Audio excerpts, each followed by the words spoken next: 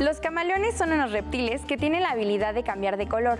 Por mucho tiempo se pensó que lo hacían para mimetizarse, es decir, para imitar a otros animales, plantas u objetos con el fin de no ser vistos. En realidad, los camaleones no cambian de color para hacerse pasar por otros animales o plantas. Lo hacen cuando sienten miedo, enojo, frío, calor o cuando se encuentran con un camaleón del sexo opuesto.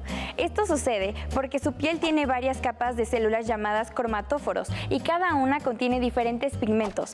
Cuando el equilibrio de estas capas se altera, su piel refleja distintos tipos de luz. Los que sí son collones son los pulpos.